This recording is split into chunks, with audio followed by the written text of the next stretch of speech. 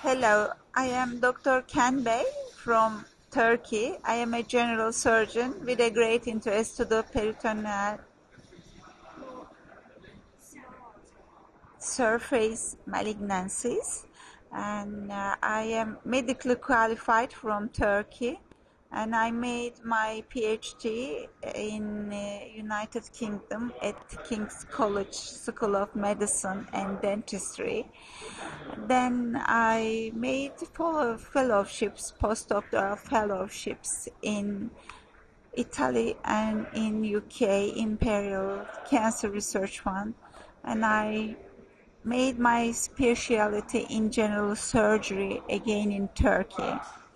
And I had a clinical fellowship from Japan, and um, then I went to the as a visiting surgeon to United States uh, to work with Dr. Yonemuras and Dr. Sugarbaker, and now I established my own organization in Turkey, and. Uh, mainly I deal with the peritoneal metastasis cases uh, originated from gastrointestinal cancers and also from primary peritoneal cancers such as mesothelioma because we have an epidemic region in Turkey.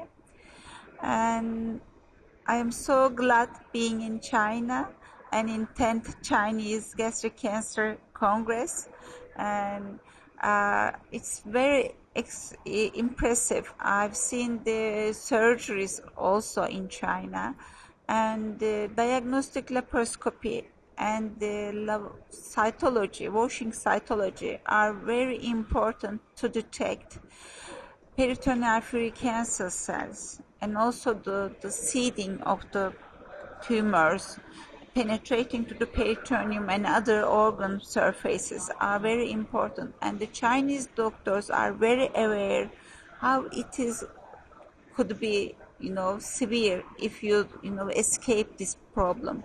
So they routinely using the peritoneal washing cytology in their practice. So i'm very impressed what they are you know doing.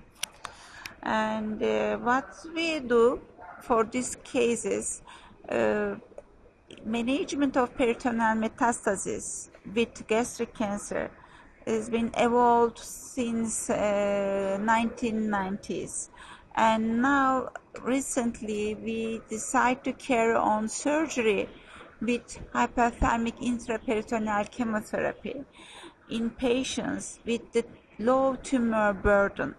If the peritoneal cancer index less than 6 you could go further surgery and add the intraperitoneal intraoperative heated chemotherapy at the same time to your patients. And uh, if the tumor burden is high, more than peritoneal cancer index is more than 7, you need to add uh, some neoadjuvant intraperitoneal systemic chemotherapy bidirectional chemotherapy, which we call it, or make a laparoscopic HIPEC to downstage the, your patient situation, then get the resectable situation in these cases. Very important uh, to be aware these are only the benefit for your patients. So you could prolong survival and you could even cure your patients if you select the right patients. And uh, recently we published this book. Uh, going to come up to the uh, art in July 2015. So I'd like to share with my Chinese friends, doctor friends, to be aware Uh, and I hope I could get little help to their daily practice. Thank you very much indeed.